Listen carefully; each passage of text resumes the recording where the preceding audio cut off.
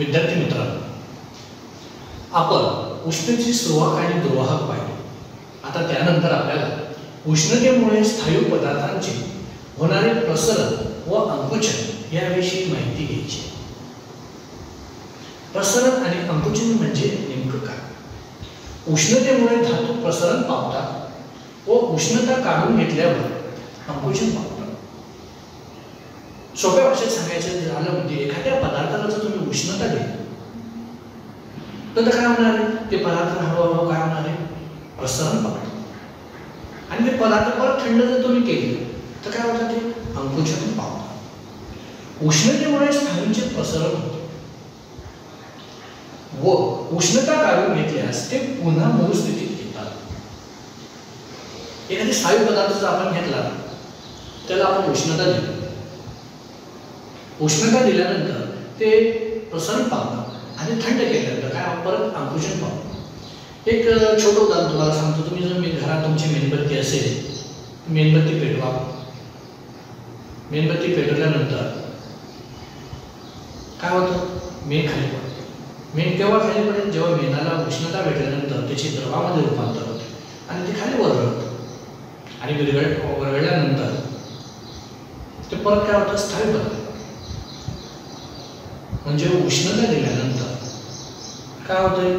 स्थायूंची प्रसरण झालं आणि उष्णता काढून घेतल्यास ते पुन्हा काय होत आहे अंकुचन पावतात त्याच्यासाठी अजून मी छोटं उदाहरण तुम्हाला सांगतो.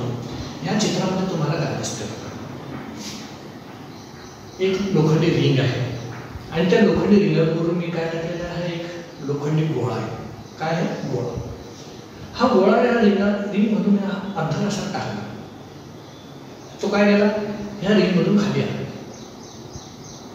हे केव्हा घडलं? जेव्हा या लोखंडी गोळ्याला मी उष्णता दिलेली नाही. नंतर जर मी ह्या गोळ्याला उष्णता दिली उष्णता दिल्यावर आपल्याला काय दिसतं? उष्णता दिल्यानंतर ह्या लोखंडी रिंगेमधून हा लोखंडी गोळा आरपार जाणार नाही. तर आरपार का जाणार नाही? कारण की जर स्थायू पदार्थाला जर उष्णता दिली तर पदार्थ स्थायू पदार्थ हे प्रसरण पावतात आणि प्रसरण पावल्यामुळे त्याच्या आकारमानामध्ये काय होते? वाढ होते. आकारमानामुळे वाढ झाल्यामुळे ह्या रिंगेमधून ही लोखंडी गोळा आरपार जाऊ शकणार नाही. म्हणून आपल्याला यावरून असं समजतं की उष्णतेमुळे स्थायूंचे प्रसरण होते व उष्णता काढून घेतल्यास ते पुन्हा मूळ स्थितीमध्ये येतात. हे झालं उष्णतेमुळे स्थायू पदार्थांचे होणारे प्रसरण व अंकुचन मग आता आपल्याला बघायचे आहे उष्णतेमुळे द्रव पदार्थांचे प्रसरण व आकुंचन कसे? ज्याप्रमाणे स्थायू पदार्थांचे प्रसरण प्रसरण व आकुंचन होते त्याचप्रमाणे द्रव पदार्थांचे होते. द्रवाला जर उष्णता तुम्ही दिली की द्रवाच्या कणांमधील अंतर वाढते आणि त्याचे आकारमान वाढते. आता तुम्ही म्हणा सर हे कसं? त्यासाठी मी छो छोटासा प्रयोग तुम्हाला सांगतो. घरी गेल्यानंतर एका पातेल्यामध्ये थंड पाणी घ्या. ते पातेल्यात ठेवा. आणि त्याला उष्णता उष्णता दिल्यावर जे गरम पाणी आहे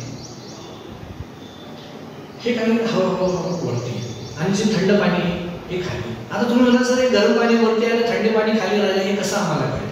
त्याच्यामुळे कोमट अशा पाण्यामध्ये जास्त गरम पाण्यात हात घालू नका. कोमट अशा पाण्यामध्ये तुम्ही हात घालून बघा. त्या पातेल्यामध्ये.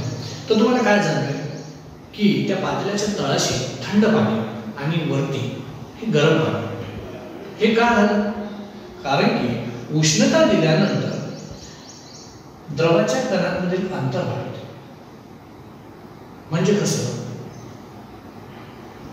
जे घन घनता कमी होते पाण्याची काय होते घनता कमी होते आणि ती घनता कमी झाल्यामुळे गरम पाणी काय होते? वरती येते आणि थंड पाण्याची घनता जास्त असल्याने थंड पाणी खाली येते. हे झालं उष्णतेमुळे द्रवपदार्थांचे प्रसरण आणि अंकुचन मग आपल्याला आता पाहायचं आहे उष्णतेमुळे होणारे वायूचे वायू पदार्थांचे प्रसरण व अंकुचन ज्याप्रमाणे आपण सायू पदार्थांचे पाहिले द्रव पदार्थांचे प्रसरण अंकुचन पाहिले आणि वायू पदार्थांच्या अंकुचनामध्ये उष्णता जर दिली तर वायूचे आकारमान वाढत असतो. आता तुम्ही म्हणा सर उष्णता दिल्यानंतर वायूचे आकारमान कसे वाढेल? त्यासाठी एक छोटासा प्रयोग आहे. एक काचेची बाटली घ्यायची. त्या काचेच्या बाटलीमध्ये त्याला उलटी करायची आणि गॅसवर किंवा मेणबत्तीवर त्याला उलटी करायची. उलटी धरल्यानंतर त्या बॉटलमधली हवा ही गरम होईल. ज्योतवर धरल्यानंतर ही गरम होईल आणि तिच्यावर अंतर असा फुगा काय करायचा? ठेवून द्यायचा. पॅक करायचा. पॅक केल्यानंतर काय तो फुगा ऑटोमॅटिक फुगला असायचा. तो फुगा ऑटोमॅटिक फुगला जसं की कशामुळे? की उष्णता दिल्यानंतर वायूचे आकारमान वाढत जात असते. हे यावरून आपल्या उदाहरणावरून आपल्याला समजते. मग आपण पाहिलं आता की पदार्थाच्या उष्णतेमुळे स्थायू पदार्थांचे जे प्रसरण अंकुचित होते तसेच द्रव पदार्थांचे पण होते आणि वायू पदार्थांचे पण होत असते.